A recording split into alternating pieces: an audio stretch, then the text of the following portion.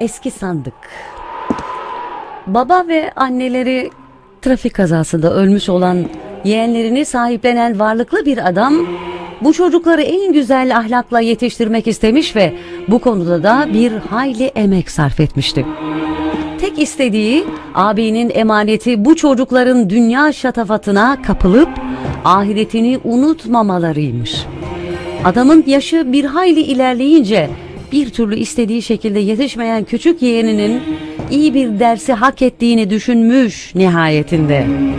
Ve artık 20'li yaşlarında olan iki yeğenini de yanına çağırmış. Artık iyice ihtiyarladığını ve bu nedenle mirasını ikisinin arasında paylaşmak istediğini söylemiş, düşünceli bir biçimde. Sonra iki küçük sandık koymuş önlerine gülümseyerek. Sandıklardan birinde çok yeniymiş ve hafif aralık kalan kısmından bir altın görünüyormuş. Diğer ise çok eskice bir sandıkmış ve kapağı da sıkıca kapalıymış.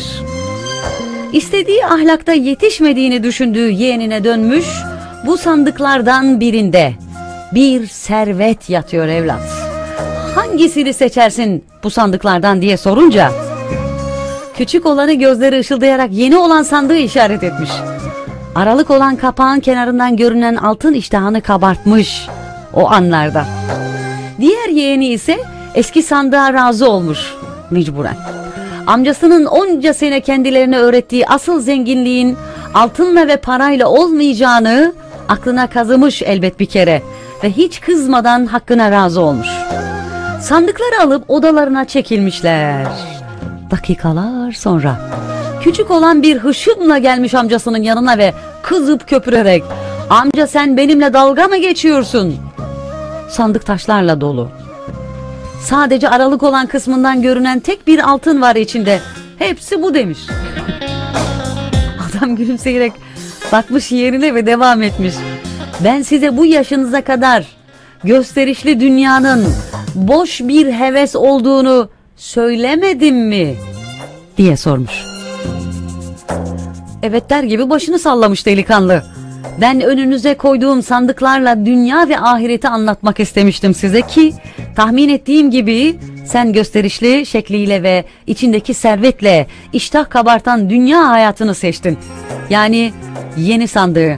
Oysa ki gördüğün gibi dünya hayatı seni bir altınla kandıran çakıl taşlarıyla doluydu. Değil mi? Boştur dünya evlat, bomboştur. Yarın bir gün ecel kapına varanda sahip olduğun ne varsa bu çakıl taşlarından değersiz olacak gösterişine kapıldığın dünyada unutma. Abin ise eski sandığı yani ahiret hayatını seçti. Altınlarla dolu o sandık ikinizin hakkıdır. Bundan gayrı bu düsturla yaşayasın ve hep eski sandığı seçesin bu fani dünyada. Aşk olalım.